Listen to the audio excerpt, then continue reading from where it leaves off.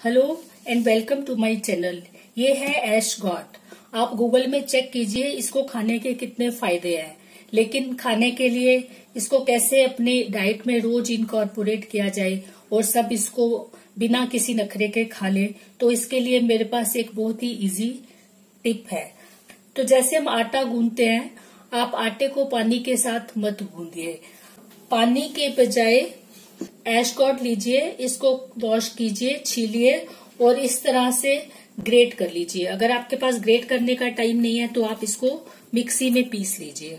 और उसके बाद इसको आप इस तरह से अपने प्लेन आटा, जो भी आटा आपको यूज़ करना है व्हीट फ्लोर रागी फ्लोर जो भी आटा आपको पसंद है, आप वो लीजिए और इसको इसी एशकॉट के साथ गूंथ लीजिए। और जैसे आप अपने सिंपल चपाती या पराठा जो भी बनाना चाहते हैं, आप इससे बनाइए।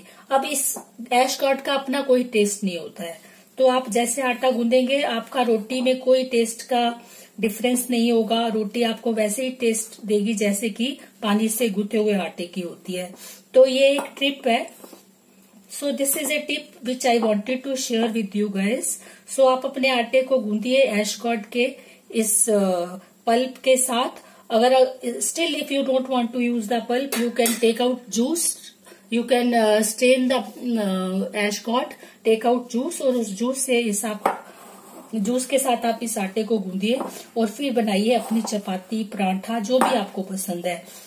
तो ये सुपर हेल्दी है और इसमें आपका टाइम भी खराब नहीं होगा और फैमिली में भी कोई इसको खाने से मना नहीं करेगा। So this is a very unique idea जो मेरे माइंड में आया तो मैंने सोचा क्यों ना आपके साथ शेयर किया जाए। तो मैं अब इसको नॉर्मल आटा गूंदूँगी और इस तरह से इसकी चपाती बना दूँगी। अगर पराठा बनाना है तो पराठा बना दूँगी। और इस तरह से हम एश गॉड को अपने खाने में डेली इनकॉर्पोरेट कर सकते हैं।